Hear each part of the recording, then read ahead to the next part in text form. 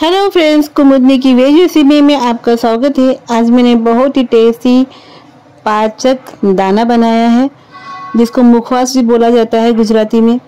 बहुत ही टेस्टी है फ्रेंड्स और इसके बहुत सारे अनगिन फ़ायदे भी हैं। तो यहाँ पे मैंने कुछ खरबूज, तरबूज और पम्पकिन के बीज ले लिए हैं।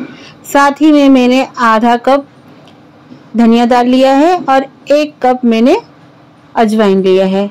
आधा कप मैंने तुलसी ली है अलसी के बीज और आधा कप मैंने इसके अंदर सोवा दाना लिया है। सोवा दाना के भी बहुत सारे फ़ायदे हैं, जो पेट में गर्मी होती है, गैस एसिडिटी बनती है, ये सब चीज़ के लिए बहुत फ़ायदा करता है। साथ ही में मैंने यहाँ पे, साथ ही में मैंने एक कप सफ़ेद तिल ले लिया है और एक कप मैंने इसके अंदर बड़ी सौंप ली है। एक चम्मच मैंने ये लवंग ले लिया है। और इसमें हम दो से तीन चम्मच हल्दी मिलाएँगे। हल्दी जो हमारे किचन में हम यूज़ करते हैं, वही हल्दी रहेगी। और नमक डाला है मैंने दो से तीन चम्मच। अगर हल्दी नमक ज़्यादा हो जाए तो कोई टेंशन की बात नहीं है।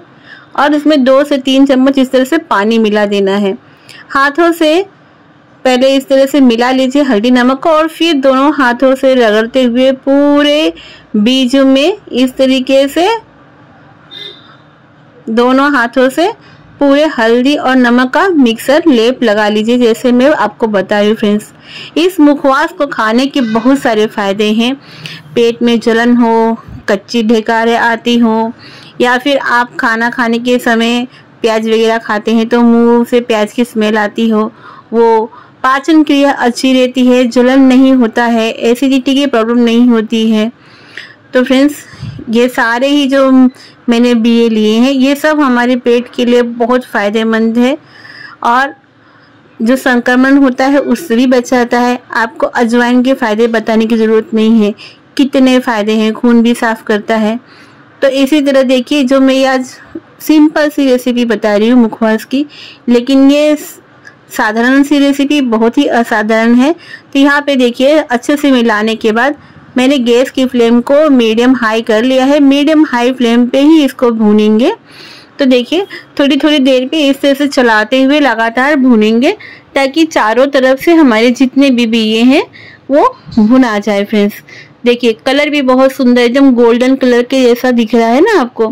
मार्केट में आप जब ये सीड्स खरीदने जाएँगे, एक पैकेट सौ ग्राम का तो बहुत ही महँगा मिलता है।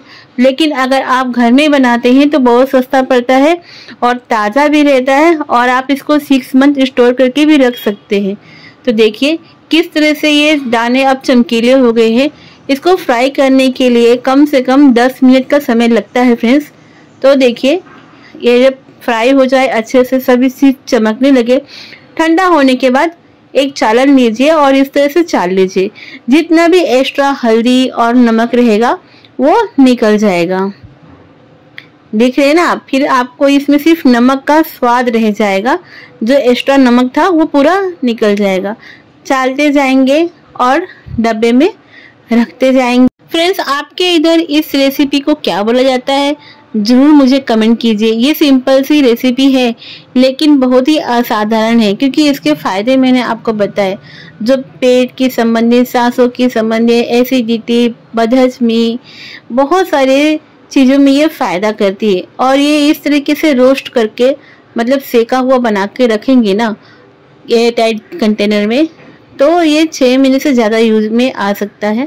तो यहाँ पे देखिए, कितना सुंदर सा हमारा मुखवास बनकर रेडी हो गया है, सुबह नाश्ते के बाद भी खा सकते हैं।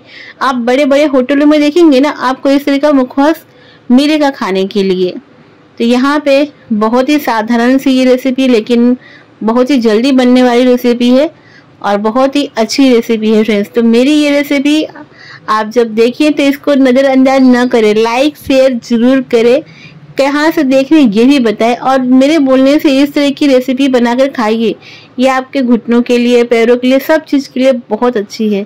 तो देखिए, कितना सुंदर सा हमारा रेसिपी बनके तैयार हो चुका है, ये मुखवास की रेसिपी तो कैसी लगी ये रेसिपी कमेंट ज़रूर कीजिए और ये ज़रूर बताइएगा कहाँ से आप मेरी ये वीडियो देख रहे हैं।